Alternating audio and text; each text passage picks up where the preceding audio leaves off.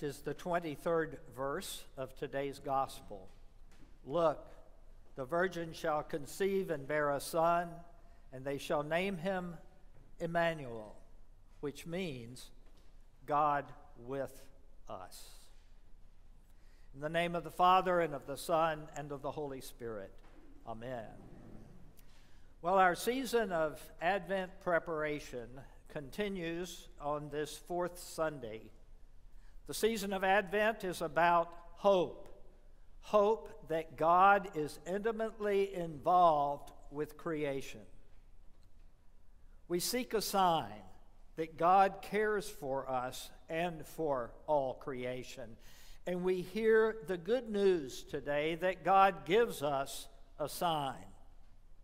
For when the time is right, God sends hope in the form of a person, Jesus.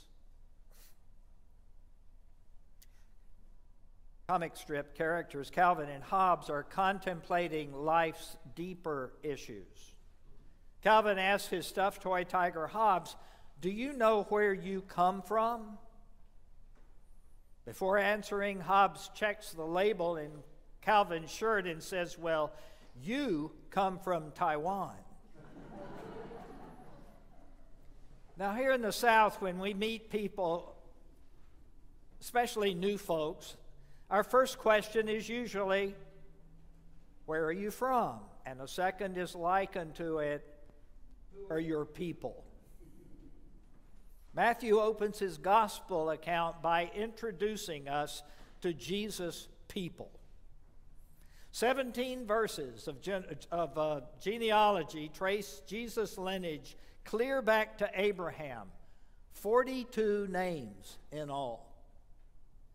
After all this genealogical tracing, St. Matthew's proclaims that Jesus is here.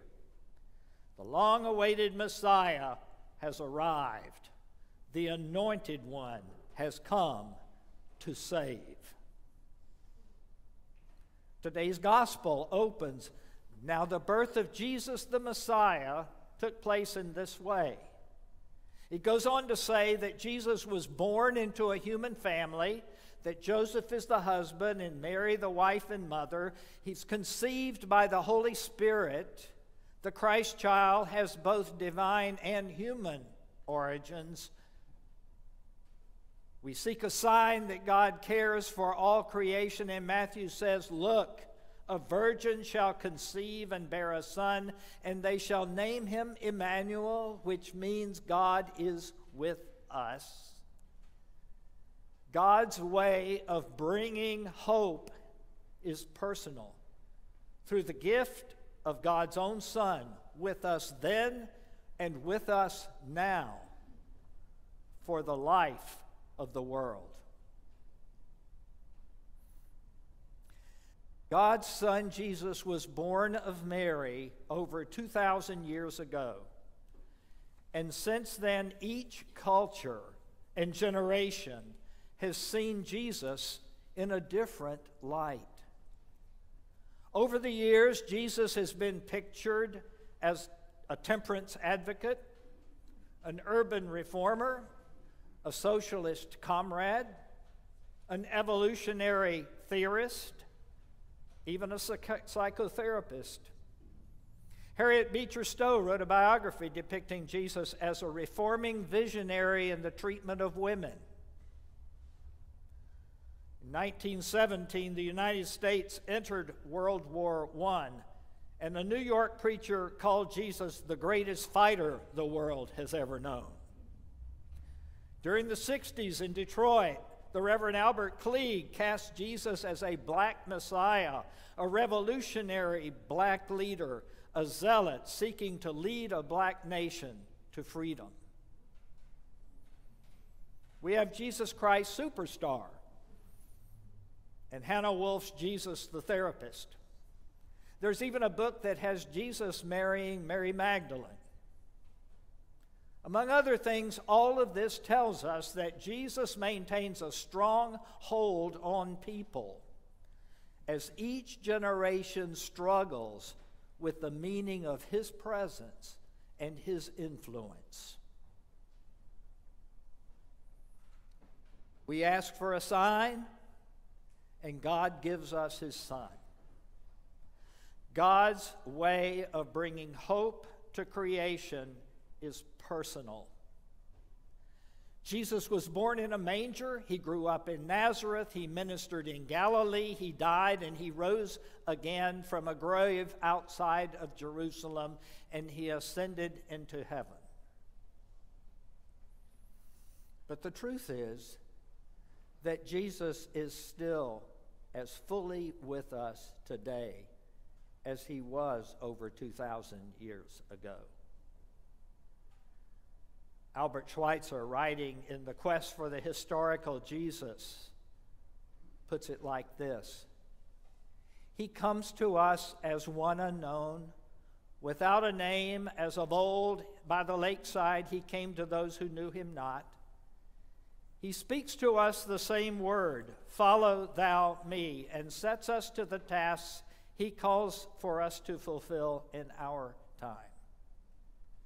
He commands, and to those who obey him, whether they be wise or simple, he will reveal himself in the toils, the conflicts, the sufferings which they shall pass through in his fellowship, and as an ineffable mystery, they shall learn in their own experience who he is.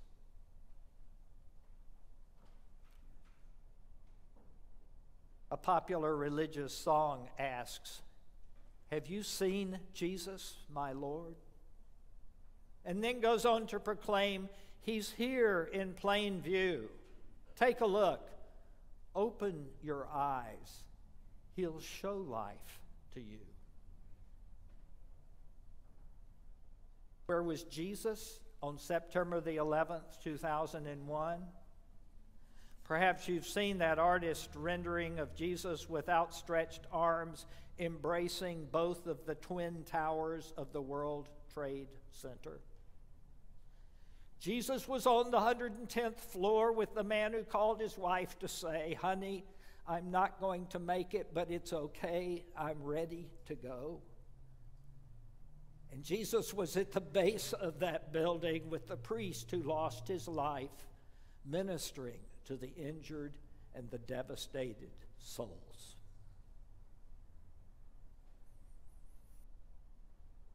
see both Paul's and Jesus' notion of faith is confidence or trust that God cares about what's happening right now. Faith is not affirming a creed, yet many Christians have whittled faith down to that. Such faith doesn't usually change our hearts or our lifestyles. God can only be loved and known in acts of love. Following today's announcements and in anticipation of the offering, hear anew that very invitation walk in love as Christ has loved us and gave himself for us an offering and a sacrifice to God. Give us a sign the life that Jesus shows is the relief of suffering and the concern for the weak and the helpless. The beggar seeking food, the child in ragged clothes, the family in the homeless shelter, the refugee seeking asylum. The life that Jesus shows is a thirst for human rights and freedom, a challenge to ignorance, inspiration for great music and art and architecture and literature.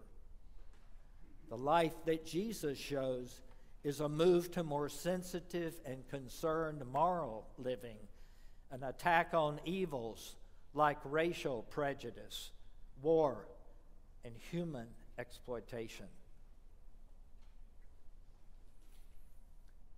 Give us a sign. And Jesus says, I am the way, the truth, and the life. Lives continue to be changed as people experience the truth of these words and make their life decisions based upon them. It's as if God reaches out into the manger and takes the child and hands Jesus to us. We ask for a sign, and God gives us his Son. All of us for whom his body is broken and his blood is shed. All of us whose sin is drowned in the baptismal bath. All of us who receive the bread of heaven and the cup of salvation at this table. All of us who experience this grace upon grace. So here's the rub. For Christmas, God gives you Jesus. Question is what are you going to do with this gift?